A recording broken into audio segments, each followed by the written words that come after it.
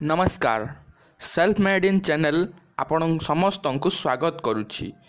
ଆଜିର ଏହି ଭିଡ଼ିଓରେ ଆମେ ଆପଣଙ୍କୁ କହିବୁ ଯଦି ଆପଣଙ୍କର ଇନକମ୍ ଟ୍ୟାକ୍ସ ଅଫିସର ହେବାର ଇଚ୍ଛା ଅଛି ତେବେ ଆପଣ କ'ଣ କରିବା ଉଚିତ ଏବଂ କ'ଣ କ'ଣ ତା'ର କ୍ୱାଲିଫିକେସନ୍ ରହିଛି।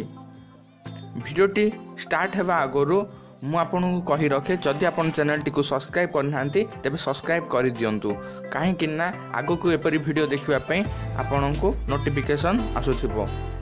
ପ୍ରଥମେ ଦେଖିବା ଏସ୍ ଏସ୍ ସି ସିଜିଏଲ୍ରେ ଭର୍ତ୍ତି ହେବା ପାଇଁ କ'ଣ କ'ଣ କରିବାକୁ ପଡ଼ୁଛି। ଏସ୍ ଏସ୍ ସି ସିଜିଏଲ୍ରେ ଜଏନ୍ ହେବା ପାଇଁ ପ୍ରୋସେସ୍ ଗୁଡ଼ିକ ହେଲା ପ୍ରଥମ ହେଲା ପରୀକ୍ଷାର୍ଥୀଙ୍କୁ କୌଣସି ବି ଗୋଟିଏ ୟୁନିଭର୍ସିଟିରୁ ସ୍ନାତକ ହାସିଲ କରିବାକୁ ପଡ଼ିବ। ମାନେ କୌଣସି ବି ୟୁନିଭର୍ସିଟିରୁ ଡିଗ୍ରୀ ସାର୍ଟିଫିକେଟ୍ ବା ଗ୍ରାଜୁଏସନ୍ ହେବା ଆବଶ୍ୟକ ରହିଛି।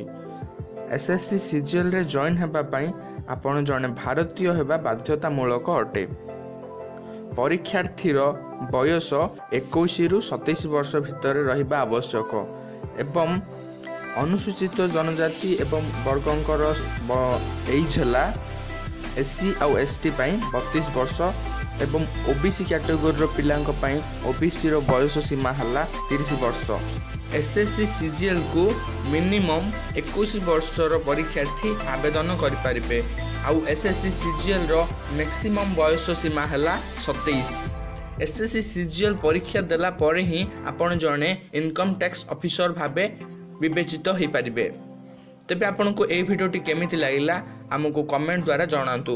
ଆଉ ଆମ ଚ୍ୟାନେଲଟିକୁ ସବସ୍କ୍ରାଇବ୍ ଏବଂ ଲାଇକ୍ କରିବାକୁ ଜମାରୁ ବି ଭୁଲନ୍ତୁ ନାହିଁ। ଆପଣ ଏହି ଭିଡ଼ିଓଟି ଦେଖିଥିବାରୁ ଆପଣଙ୍କୁ ବହୁତ ବହୁତ ଧନ୍ୟବାଦ।